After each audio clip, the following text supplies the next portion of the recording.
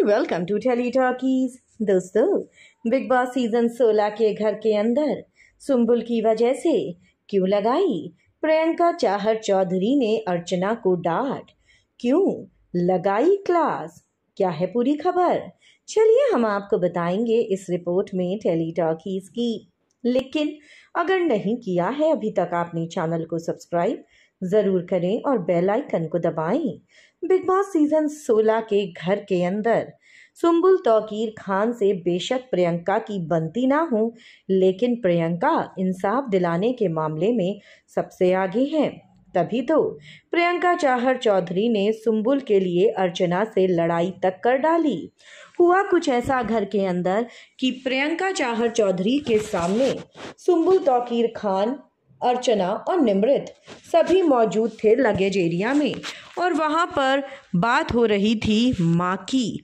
ऐसे में अर्चना ने बोला कि, भैया, मेरी माँ को तो कोई दिक्कत नहीं है, मैं कुछ भी पहनूं। निमृत ने कहा, मेरी माँ को भी दिक्कत नहीं है, क्योंकि सुम्बुल ने सूट पहना था और सुम्बुल बहुत प्यारी लग रही थी। लेकिन ऐसे में सुम्बुल ने कहा कि, अगर मेरी मम्मी होती तो वो तो मेरी बलाई ले लेती और मुझे गले लगा लेती। ये कहते हुए सुम्बुल इमोशनल हो गई।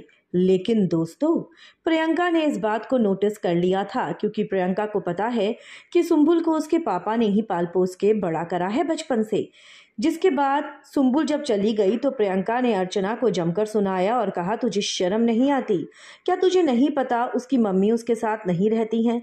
तू जानबूझकर हर किसी के जख्मों पर नमक क्यों छिड़कती है? क्यों जानबूझकर तुम लोग सुम्बुल के सामने मम्मी की बातें करते हो? क्या तुम्हें रियलाइज़ नहीं हो रहा वो बच्ची बहुत छोटी है?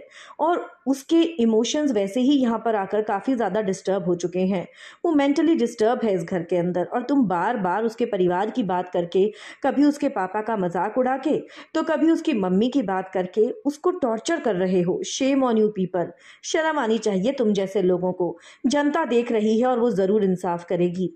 वेल well, दोस्तों मान गए प्रियंका चाहर चौधरी को कि सच में सुम्बुल जिससे प्रियंका की बनती तक नहीं उस तक के लिए प्रियंका ने लड़ाई की अर्चना से।